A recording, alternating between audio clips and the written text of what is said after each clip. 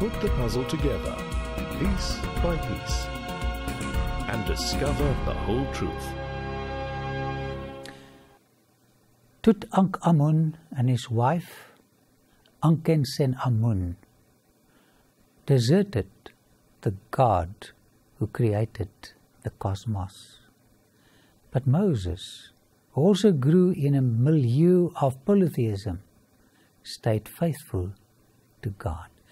I hope you've enjoyed the recent visit to the treasures of Tutankhamun. He was only a little insignificant pharaoh compared to the others. Tutankhamun's mummy was found in the third coffin. If you have enough Egyptian pounds, you can visit his tomb in the Valley of the Kings and look at this coffin. Let me show you what they found when they opened the third coffin the desk mask of the king. The Egyptians had weird ideas of what happens to a person when he or she dies. May I have your permission to exhibit his mummy? What a sad sight. The Pharaoh looks quite pathetic without his gold trimmings. Let him rest in peace. I saw two royal thrones amongst the Tutankhamun treasures. This one portrays Egyptian polytheism. As I've mentioned, in the latter part of his life, he worshipped all the different Egyptian deities. But then, in shocking religious contrast, you also see this monotheistic throne among his treasures. Here he is still called tut Tutankhaten, meaning in the living image of Aten, and his wife, daughter of Akhenaten Nefertiti, is still called Ankhesenpaaten, before her name changed to Ankhensen Amun. The relief shows their dependence upon the God of heaven and earth. Now, how did this throne get into his tomb? The motif proclaims the truth about the unseen, everlasting Creator God. Now, the Egyptians detested it, but it seems to me that truth, in this case, had the last word. Looking at Tutankhamun's statue at Karnak, I thought, he knew what was right, but for the sake of fame and wealth, he sacrificed his principles. So typical of human nature. And next to his statue, you see his wife's statue, Ankhesenamun, the little girl who used to sit on her father's lap. So often we know what is right, but we do what is wrong. Have you discovered how weak we really are? We need God's help urgently to keep us faithful to Him. Here the little Ankhesenpaaten sits on her mother's lap. Her parents taught her about the kindness of God. They encouraged her to love and obey Him. When she grew older, she turned her back on truth. Has this happened to your child? Contact with the invisible Creator God made Akhenaten and Nefertiti kind people. I've discovered through the years that the more I look to God, study about Him, the more I change for the better. I tend to become a little kinder. It is a law of life that by beholding we become changed. In contrast to the unfaithful behavior of their children Tutankhamun and Ankhesenamun, we have the faithfulness of Moses. The Bible says of him that he also grew up in a polytheistic Egyptian milieu. And then he wrote something beautiful. Hebrews 11:25. He chose to be ill-treated along with the people of God rather than enjoy the pleasures of sin for a short time. His eyes were not fixed on the dazzling allurements of the Egyptian court. No, he looked beyond the sensual pleasures of sin. Verse 27 says, He persevered because he saw him who is invisible. May God help us, like Akhenaten, Nefertiti, and Moses, to persevere in doing what is right and be kind to people. May help us daily to be a little kinder to one another. Let us focus our eyes more and more on the lovely Lord Jesus Christ, who loved us so much that he died for us. Moses died here on Mount Nebo.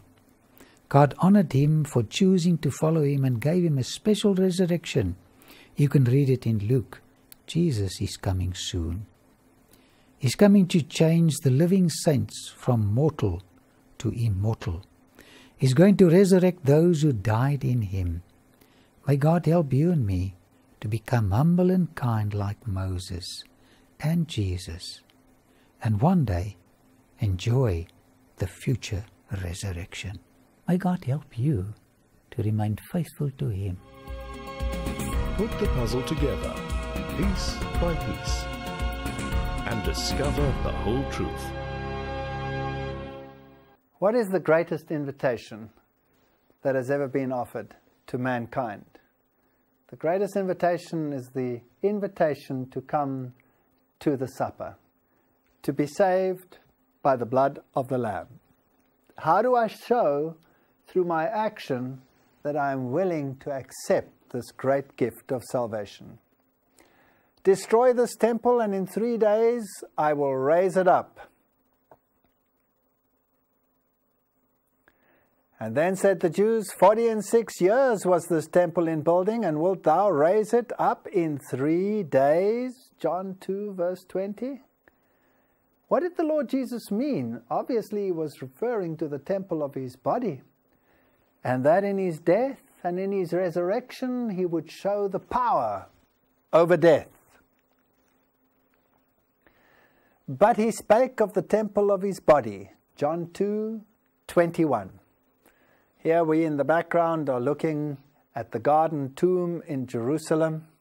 The garden tomb shows all the criteria of the biblical story of the burial place of Jesus. When therefore he was risen from the dead, his disciples remembered that he had said this unto them, and they believed the scripture and the word which Jesus had said. John 2 22. The resurrection of Jesus is of paramount importance to Christianity. It is sad that some today even want to spiritualize that away. And if Christ be not risen, then is our preaching vain. And your faith is also vain. And if Christ be not raised, your faith is vain. Ye are yet in your sins, and they also which are fallen asleep in Christ are perished. 1 Corinthians 15, 14, 17, and 18. Of all the religions of the world, only Christ's tomb is empty because he is a risen Savior. He's the only one who had life within himself. He's the only one who can give life to whomsoever. He gives it because they choose to accept the free gift of salvation. This Jesus delivered up according to the definite plan and foreknowledge of God, you crucified and killed by the hands of lawless men. But God raised him up, having loosed the pangs of death, because it was not possible for him to be held by it. This Jesus God raised up, and of that we all are witnesses. Acts 2 23, 24, 32. We have to be witnesses to the resurrection of Jesus Christ. There are religious bodies in the world that say Jesus was not crucified, it only seemed as if he was crucified. If Christ be not risen, if Christ was not crucified, we are yet in our sins and our faith is meaningless. Go ye therefore and teach all nations, baptizing them in the name of the Father and of the Son and of the Holy Ghost teaching them to observe all things whatsoever I have commanded you, and lo, I am with you always, even unto the end of the world. What a promise! So the commission is to go out and to baptize people into this truth. Baptism is an important rite mentioned in the Bible. Baptism is mentioned 80 times in the New Testament. Surely it must be of significance. And John also was baptizing in Aenon near to Salim because there was much water there, John 3:23. So baptism requires a fair amount of water. It is not a question of sprinkling or pouring a little bit of water over someone's head. John the Baptist was baptizing by immersion. Baptism, what does it mean? The Greek word baptizo means to dip, to immerse, to plunge underwater.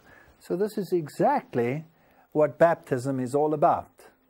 Baptize means to put underwater, and that's why John the Baptist here at the Jordan River could baptize because there was much water there. Then went out to him Jerusalem and all Judea and all the region about Jordan, and were baptized of him in Jordan, confessing their sins. Matthew 3 5 to 6. When we come to God, we confess our sins, we accept that we are guilty before God, we accept the free gift of salvation from our substitute Jesus Christ, and to show that we are willing to die to self, we are buried in the waters of baptism and rise in Christ together with his resurrection as a new being. The old man of sin is dead. So, baptism was a rite of immersion, and it symbolized the death and the resurrection of Jesus Christ and my willingness to die to self and to be raised together with him. Let it be so now. It is proper for us to do this, said Jesus, as he went for baptism. He was not a sinner, but he showed us by his example the way we should go. It is proper for us to do this to fulfill all righteousness. Then John consented, Matthew 3 15, and he baptized him. And Jesus, when he was baptized, Matthew 3 16, he went up out of the water. At that moment, heaven was opened, and he saw the Spirit of God descending like a dove and lighting on him. And a voice from heaven said, This is my Son, whom I love, with whom I am well pleased. Matthew 3 16 and 17. So Jesus went up out of the water, which means that he was immersed and was lifted up out of the water. And then the Holy Spirit descended upon him like a dove. This tells us that it was gentle, not with a roar, it was a gentle action. God anointed Jesus of Nazareth with the Holy Ghost and with power, who went about doing good and healing all that were oppressed of the devil, for God was with him. Acts 10:38. Jesus is our example. As we come up out of the waters of baptism, we will receive an anointing, a gentle anointing of the Holy Spirit. And we can go out and we can preach the gospel, which will set people free from their afflictions healing them of their spiritual maladies. If we inculcate the health reform message in our own lives, we can also assist in the physical upliftment of those around us. Jesus set us an example. He healed the sick and he healed the spiritual maladies of mankind, healing all that were oppressed of the devil, for God was with him. The Pharisees had heard that Jesus made and baptized more disciples than John, though Jesus himself baptized not, but his disciples baptized. So Jesus has given this commission of baptism to his disciples. There's the interesting story of the Ethiopian eunuch in the Bible. And uh, when we read the Bible, we find some very interesting verses here. Philip was taken towards him at great speed, and the angel of the Lord spoke unto Philip, saying, Arise and go towards the south, unto the way that goeth down from Jerusalem unto Gaza, which is the desert. And he arose and went, and behold, a man of Ethiopia, an eunuch of great authority under the Candace, queen of the Ethiopians, who had the charge of all her treasures and had come to Jerusalem for to worship, was returning and sitting in his chariot, and he was reading Isaiah the prophet. And Philip goes to him and says, Do you understand what you are reading? Philip ran thither to him and heard him read the prophet Isaiah and said, Understandest thou what thou readest? And he said, How can I? Except some man should guide me. This is a very important principle in the Bible. And he desired Philip that he would come up and sit with him. The place of the scripture which he read was this He was led as a sheep to the slaughter, and like a lamb dumb before his shearers, so opened he not his mouth. Acts 8 30 to 32. This man was a devout Jew because he came to the temple to worship. So he understood all the issues of obedience and the law, but he didn't know the Messiah. So he was wondering who this lamb was that was led to the slaughter. As they traveled along the road, they came to some water, and the eunuch said, Look, here is water. Why shouldn't I be baptized? And he ordered the chariot to stop. Important question. And Philip said, Note the injunction, if thou believest with all thine heart, thou mayest. So the prerequisite to baptism is that we must believe with all our heart. Infants cannot believe with all their hearts. And he answered and said, I believe that Jesus Christ is the Son of God, Acts 8:37. And so the fullness of the gospel, obedience to God's requirements, which he knew as a Jew, and acceptance of the Savior who would be the mercy seat, shielding him from the condemnation of the law, came into one, and he was baptized into the whole truth and was sent forth like all other disciples to spread the gospel. Then both Philip and the eunuch went down into the water, and Philip baptized him. Acts 8 36 to 38. So, how was baptism performed in the early church? It was always performed by immersion. Here is an old baptistry. There's an old Byzantine cross that the lady is pointing to. And the baptistry was a deep hole into which steps led to the bottom, and you climbed in and you were baptized by immersion. There is the shape of the baptistry. You climbed down the stairs and you were baptized by immersion.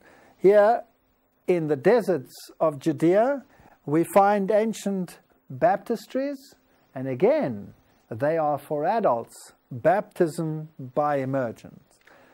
Ancient churches reveal the methods of previous times, and if we go to some of the very old churches, there are the ancient baptistries. Here's a first century church in Philippians, and we can see that the baptistry was also large because they were baptized by immersion.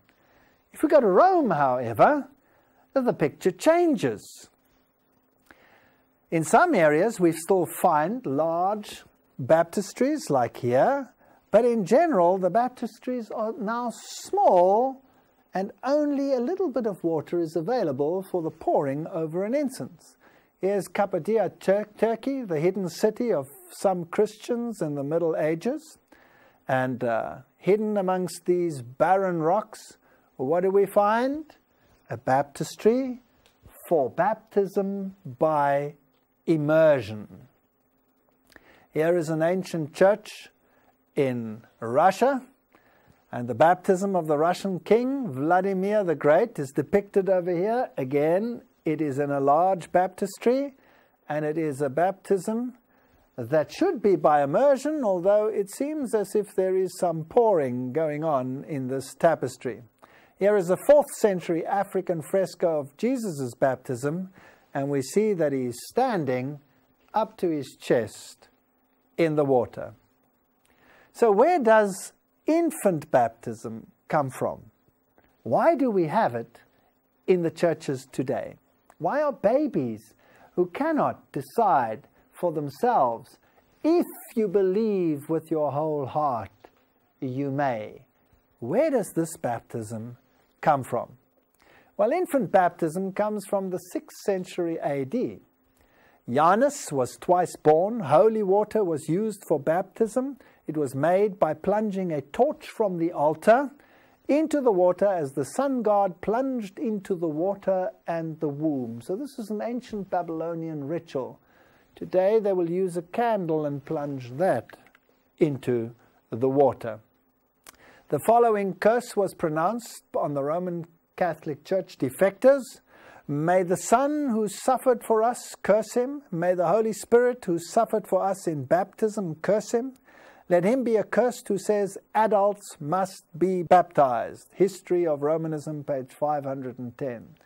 So it seems again as if this doctrine of infant baptism in Christianity can be traced right back to the Roman Catholic Church. For several centuries after the establishment of Christianity, baptism was conferred by immersion but since the 12th century, the practice of baptizing by infusion has prevailed in the Catholic Church, as this manner is attended with less inconvenience than baptism by immersion. This is an answer by James Cardinal Gibbons, The Faith of Our Father, 110th edition, page 277. Isn't it fascinating? So we get rid of the injunction of God because it is inconvenient the Bible says that we have to be baptized. That means to plunge under. You have to hold your breath. You have to die or simulate death. You hold your breath under the water and you are raised up into a new life with Jesus Christ. The, no, the Bible knows nothing about infant baptism. And to argue that some passages where the whole family was baptized indicate that infants were baptized is not valid because the age of those baptized is never mentioned. All the clear texts in the Bible refer to adult baptism. And that's why mega churches like the Baptists, for example, accept this biblical injunction. John 3, verse 3 says, Verily, verily, I say unto thee, except a man be born again, he cannot see the kingdom of heaven. And when we were in the womb, we were in the water, and when we were born, we took our first, first breath. When we are born again, we plunge into the water, we don't breathe, we come up, we take our first breath in the newness of life. It was not until the Council of Ravenna in 1311 AD that sprinkling and pouring were officially accepted as equally valid as immersion in the rite of baptism. So we see this is 1,300 years after Christ. Only then did the pagan rituals start taking over. So we can trace them all back to Rome. Here we have the Roman God indicating the union between church and state. And this power enforced its doctrines upon the entire world. Here we have the most magnificent statues ever sculpted in the world, the Michelangelos. Here is Moses. Apparently, he threw his mallet at it and said, Get up, be alive, because it was so perfect. But the perfection and the beauty and the grandeur of all the cathedrals in the world cannot make up for the loss of doctrinal beliefs that are Bible based. Why should we tolerate a change from a thus says the word to a thus says tradition? Yet millions around the world look for leadership in terms of doctrine to a faith based on tradition and not the word. And the baptistries have become smaller and smaller and smaller, like this one in Rome and infants are baptized and infused. The Bible says there is one Lord, one faith, one baptism, Ephesians 4, verse 5. The Bible is very clear. Children are brought to the Lord to be blessed. So we take our young children, we take them to the Lord, and we ask Him to bless them. It is our duty as parents to guide the little feet of the children in the paths of righteousness until they can make their own decision. They are covered by our faith in the Lord Jesus Christ until they are capable of deciding for themselves. I believe that Jesus Christ is the Son of God, and I trust in his merits for salvation, and I show that I believe this by allowing him to give me a newness of life after I have been immersed in the waters of baptism. There is only one Lord, there is only one faith, and there is only one baptism, according to Ephesians 4 5. Isn't it fascinating that we have all these rites of baptism? Some believe you just sprinkle the water, others believe you take a little bit of water and you pour the water. Others believe you have to be baptized by immersion. Some believe you have to be immersed three times in the name of the Father, the Spirit, and uh, the name of the Father, the Son, and the Holy Spirit. Others believe you have to be immersed seven times. There are so many rituals out there. Why don't we just take the plain biblical injunction? The Bible says Jesus was baptized, he came up out of the water. It doesn't say he came up and went down and came up and went down and came up and went down. Take the biblical injunction. There is only one baptism, and that is adult baptism. So, what does it symbolize? We've already dealt with it, but let's just look at the biblical text. 1 Peter 3:21. And this water symbolizes baptism that now saves you also not by the removal of dirt from the body, but the pledge of a good conscience towards God. So it's a promise that we make to God. It saves you by the resurrection of Jesus Christ. There is no merit in the ritual. The thief on the cross, did he have a baptism? No. Is he saved? Yes because God recognizes the spiritual conversion that took place in his heart, and he had no need for a physical baptism. But if it were possible for him to have actually undergone that ritual, would he have done so? Absolutely, because it is an injunction of God. It is a public expression of my personal decision in here. And so we are saved by the resurrection of Jesus Christ and is a symbol of the washing away of our sins and a rise in a newness of life. I tell you the truth unless a man be born of water and the Spirit, he cannot enter the kingdom of God. John 3, verse 5. The water symbolizes the regeneration, the Spirit empowers to do the work which God has chosen each individual to do. Brothers, what shall we do? Peter replied, Repent and be baptized, every one of you in the name of Jesus Christ. Acts 2, verse 37 and 38. This word repent is not a popular word today, but the Bible says repent, turn around, don't do what you did before, and then be baptized. Acts 2 38 to 39. Repent and be baptized, every one of you, in the name of Jesus Christ for the forgiveness of sins, and you will receive the gift of the Holy Spirit. The promise for you and your children, and for all who are far off, for all whom the Lord our God will call. Now, here is an interesting point. So when I am baptized, I also receive the gift of the Holy Spirit. When Jesus was baptized, the Holy Spirit descended upon him like a dove, gently. So when we are baptized, the Holy Spirit descends upon us. We were separate from God, we are now back in line with God. As the Holy Spirit descended upon Jesus and the Father said, This is my beloved Son, so the Father will say, This is my beloved child. And here we are, and He gives us the gift of the Holy Spirit. For what purpose? For myself? No, that is not according to the principle of love. We receive the gift of the Holy Spirit in order to further the gospel, to be empowered to preach the gospel of salvation.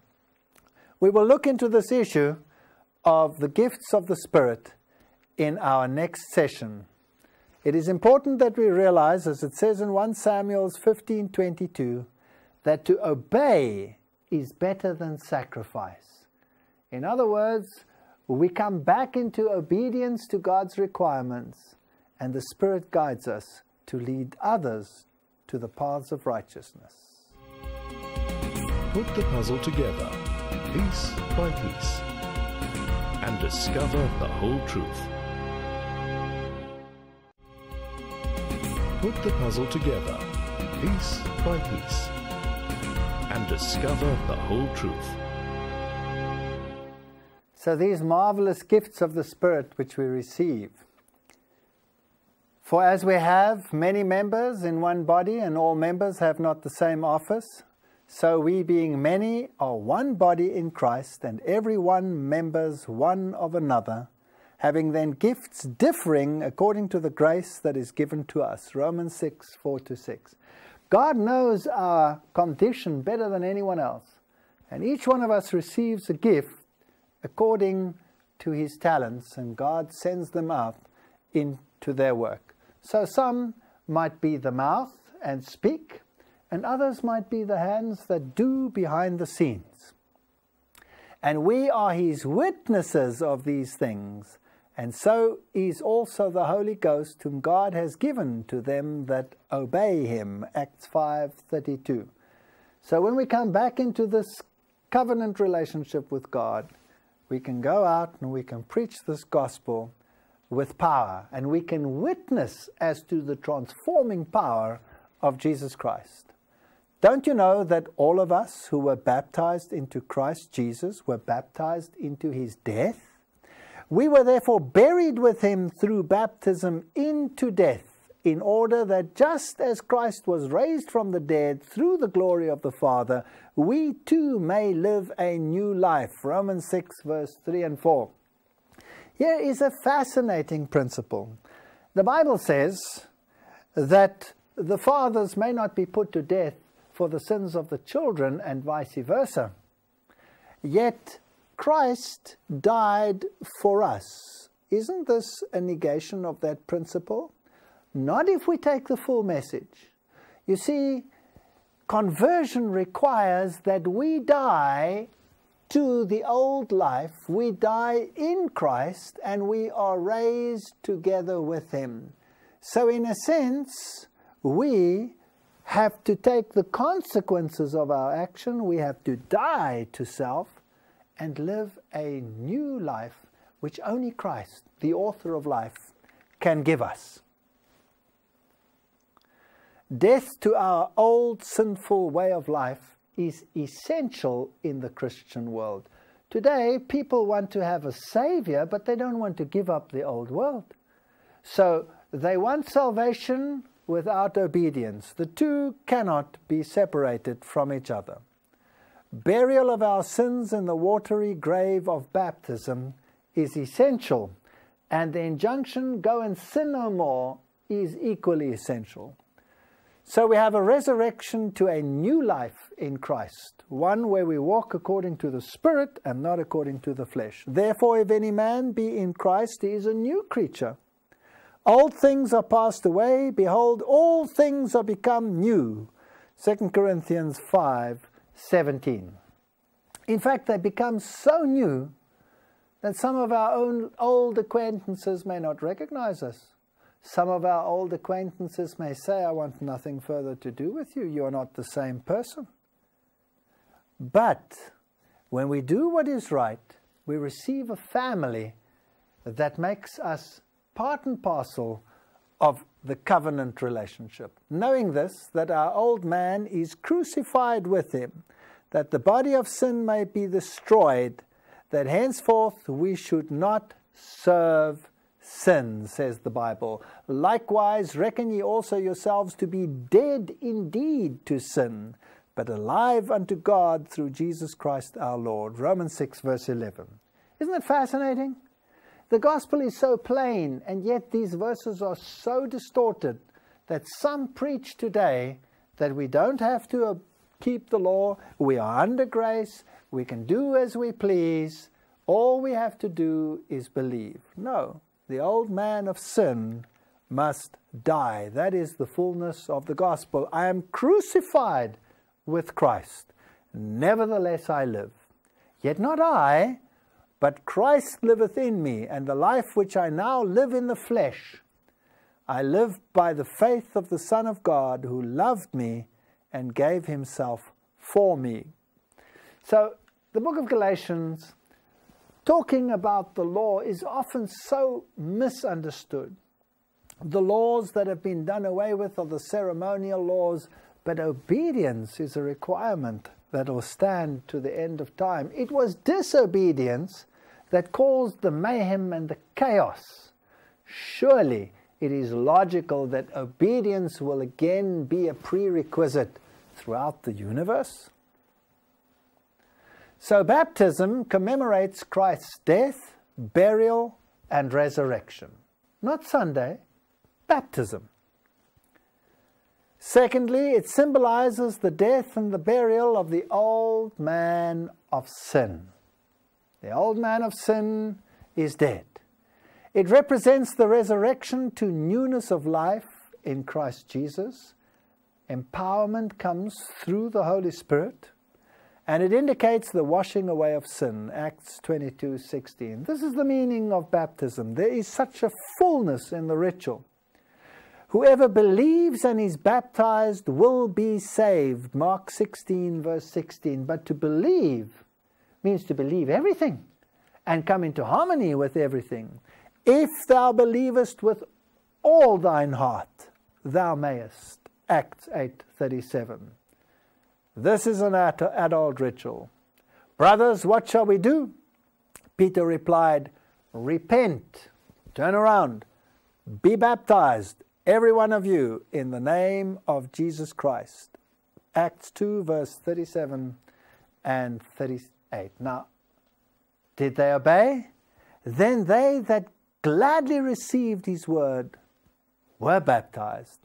And the same day there were added unto them about 3,000 souls. Acts 2, verse 41. So the church grew through baptism. So when we are baptized, it is not somewhere solitary that we are baptized for ourselves. We are baptized into the body of Christ. Today, millions of people seek baptism, but only few seek baptism of repentance and a walking in the newness of life, leaving all the things behind that once separated. The baptismal rite is a beautiful rite. The white symbolizes the righteousness of Christ. And to be buried in the waters of baptism is every Christian's privilege. This young lady is determined to be baptized, even though it may be somewhat inconvenient. Notice the ice blocks floating in this wintry environment in Europe. You have to have a strong will to be baptized under those circumstances. So here are the steps to salvation. Number one, I accept Jesus Christ as my personal Savior. Romans 3:23. I believe with my whole heart and with my whole mind and with my whole soul. Number three, I confess I am a sinner, 1 John 1 9, and I am in need of salvation. And I make a decision that I will follow Jesus the Lamb wheresoever he goes. Do we all need baptism? Yes. Romans 3:23 For all have sinned and come short of the glory of God. There is not one righteous, no, not one. And they said, Believe on the Lord Jesus Christ, and thou shalt be saved, and thy house. Acts 16:31. Fascinating. When salvation comes to a house, all are affected. Nobody can say, I am not involved in this. Either negatively or positively, but a decision must be made. If we confess our sins, He is faithful and just to forgive us our sins and to cleanse us from all unrighteousness. So we are all sinners. We all have to say we believe and we all have to confess our sins. Those are the steps we have to take, whether we want to or not. This is the biblical injunction. Behold, I stand at the door and knock. If any man hear my voice and open the door, I will come into him and will sup with him, and he with me. Revelation 3:20. God does not force the issue. He will knock, but it is our job to open the door. So, does baptism mean that I become part of Christ's church? They were added to them, all those thousands that were baptized when Peter preached that great message. So, in the same way, baptism is not only a public display of repentance and resurrection in Christ, it is also baptism into his body. For by one Spirit are we all baptized into one body, whether we be Jews or Gentiles, whether we be bond or free, and have been all made to drink into one Spirit. 1 Corinthians 12 13. I cannot decide, I do not want to be part of the body. Can the hand say to the legs and to the trunk and to the head, I have no need of thee, I'm going to sit over there and do my own thing? No. We have to be baptized into the body. The Lord added to the church daily such as should be saved. Acts 2, verse 47. So they were added to the church. For by one Spirit are we all baptized into one body. 1 Corinthians 12, 13.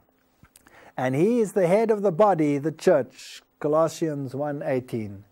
So there is no way of escape. I cannot say, I want to be saved, I want to be baptized, but I, I don't want anything to do with the church.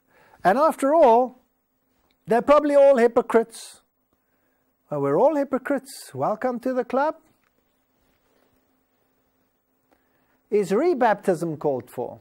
Some people claim we don't have to be baptized again. Well, in some cases, if you've had a genuine baptism according to the biblical principles, then that is accepted.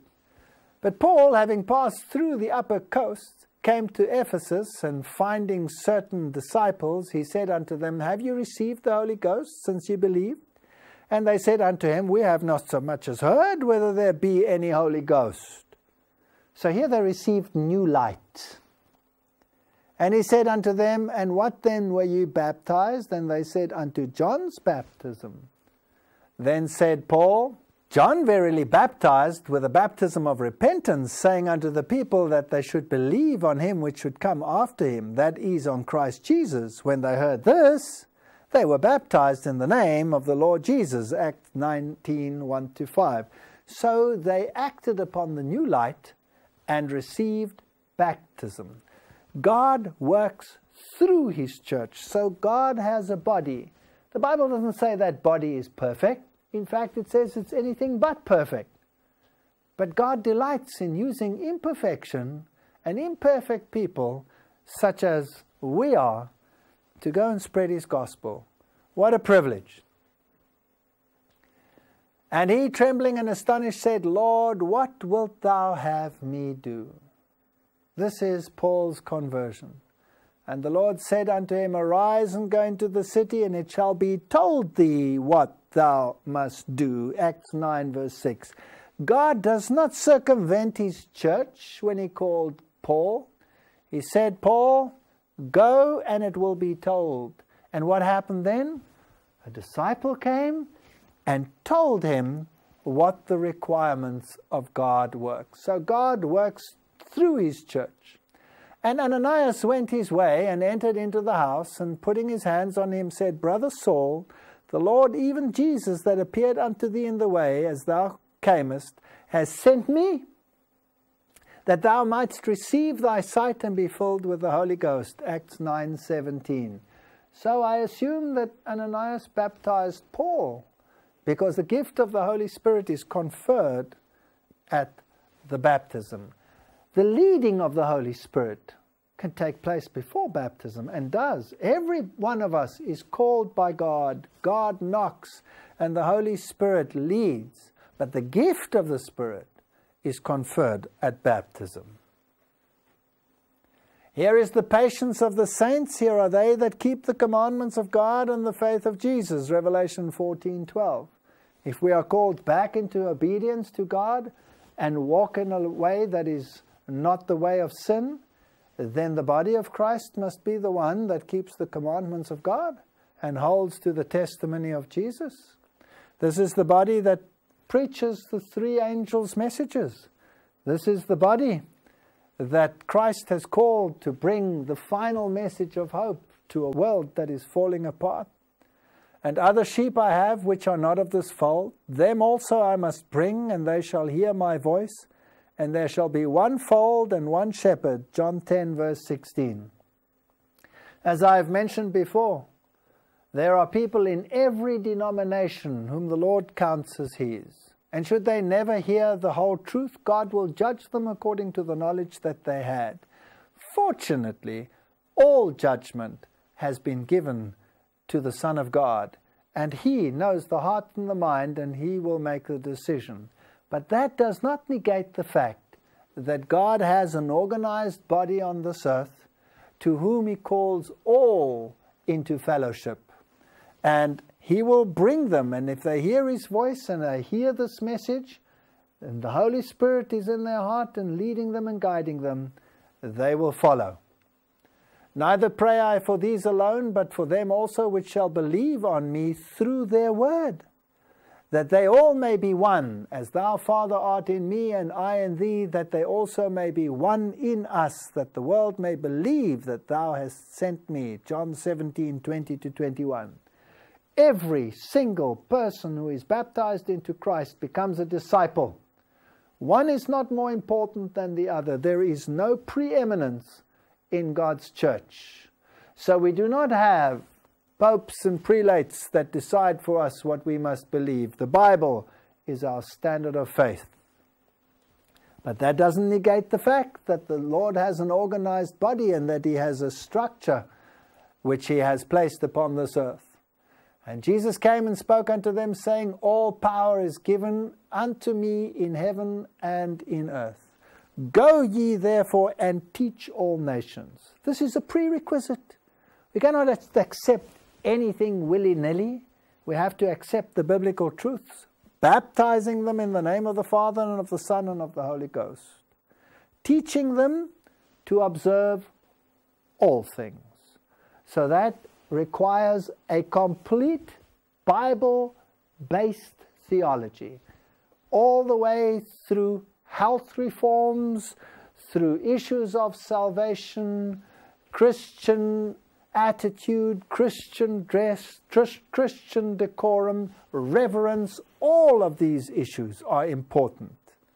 Whatsoever I have commanded you, and lo, I am with you always, even unto the end of the world. Matthew 28 17 to 20. None of these issues will disappear.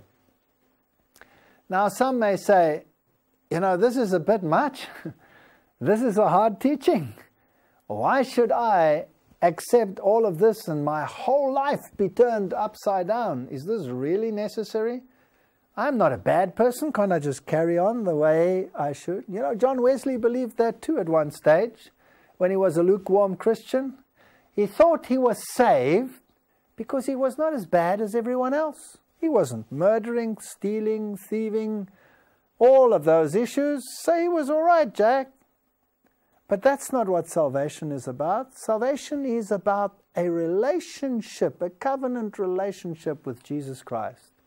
This is a hard teaching. Yes, it is. John 6 16. Many, therefore, of his disciples when they had heard this, said, This is a hard saying, who can hear it? And they decided this is just too much. John 6, verse 66 From that time, many of his disciples went back and walked no more with him. We need not be disheartened when this happens. We are just sowers, sowing the seed. The growth the watering, God will take care of that. God will send others to water.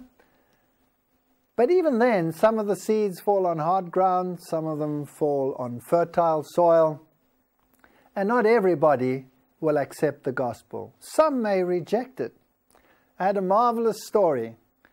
I was involved in an evangelistic campaign, and there was this man who was violently opposed to his wife accepting this truth as it is in Jesus.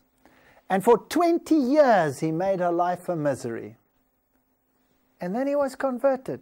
So we don't always know when they walk away, will they come back? Leave that to God. Preach the message, whether it is a hard teaching or not.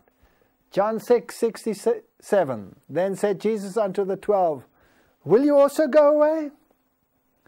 John 6 68. Then Simon Peter answered and said, Lord, to whom shall we go? Thou hast the words of eternal life. There is no other way. This is the only way. I have no other choice. Many excuses will be found. Many things I do not yet understand. I'm not ready for this. Come back to me in 10 years' time. Psalms 97:11 Light is sown for the righteous and gladness for the upright of heart. We will be glad to receive light when we receive it. Psalms 112, verse 4 Unto the upright there arises light in the darkness. They will love this light, they will not turn from this light. Psalms 119, 130 The entrance of thy word give us light. If we love the light, we will be children of light. Proverbs 4:18 The path of the righteous is like the first glimpse of dawn, shining ever brighter till the full light of day. Do you think we'll ever get there? I don't think so. I think we will grow and grow and grow and grow and grow, and we will continue growing for all eternity. To make an excuse that I don't know everything yet, so that I need not be baptized, is no excuse at all. If I understand the principles and I know what is required, even if I haven't perfected it yet, I can come into the waters of baptism and ask God to lead me and guide me. None of the priests and the rulers believed. Why don't all the other churches teach this? Why should I do this complicated thing? John 7:32 the chief priests sent officers to arrest him, Jesus. Verse 46, 47 they came back and they didn't arrest him. Why? No one ever spoke like this man. You mean he has deceived you also, they said? Has any of the rulers or the Pharisees believed in him?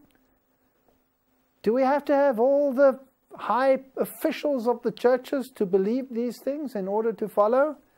The Bible says so. Do it. Some may say the price is too high. I don't want to do this. My Father, if it is possible, may this cup be taken from me. Yet not my will, but as you will. Matthew 26 39. So here is our choice. Is it going to be our will or is it going to be the Lord's will? I'll wait till the Spirit moves me. That's a very common excuse. I'm not ready for this. I'll wait till the Spirit tells me. There is a way that seems right to a man, but the end leads to death. Proverbs 16:25. If you put it off, you might put it off forever. I don't want to do this. This will cause division in my family. Think not that I have come to send peace on the earth. I came not to send peace, but a sword. For I am come to set a man at variance against his father, and the daughter against her mother, and the daughter in law against her mother in law, and a man's foes shall be they of his own household. He that loveth father or mother more than me is not worthy of me, and he that loveth son or daughter more than me is not worthy of me. Matthew 10 34 to 37. I cannot use it as an excuse. And he that does not take his cross and follow after me is not worthy of me. Matthew 10 38. Yes. It will cause opposition, but that opposition will strengthen. And eventually we will become stronger and stronger and stronger and less and less ashamed. When I became a Christian, I was so ashamed of saying, I no longer believe in evolution. I don't, I kept trying to keep it to myself, and then I realized I'm a coward. Tell people what you believe. But now, thus says the Lord that created thee, O Jacob, and he that formed thee, O Israel, fear not, for I have redeemed thee, I have called thee by thy name, thou art mine. Isaiah 43, verse 1. This is a promise. I'm not ready yet. I'm not ready yet. Today, if you hear his voice, do not harden your hearts. Psalms 95, verse 7. Today, salvation has come to this house because this man too is the son of Abraham. Luke 19, 19. I can do all things through Christ which strengthens me. Philippians 4, 13. It's no excuse to say I'm not ready yet. We need to paint the blood of Christ onto the doorposts of our hearts. And then he asks, Now why tarriest thou? Arise and be baptized, and wash away thy sins, calling on the name of the Lord. Acts 22 16. May the Lord give us strength to do what is right and to leave the consequences to Him. And whatever happens, He will empower us to do the right thing and to stay faithful until He comes. Amen.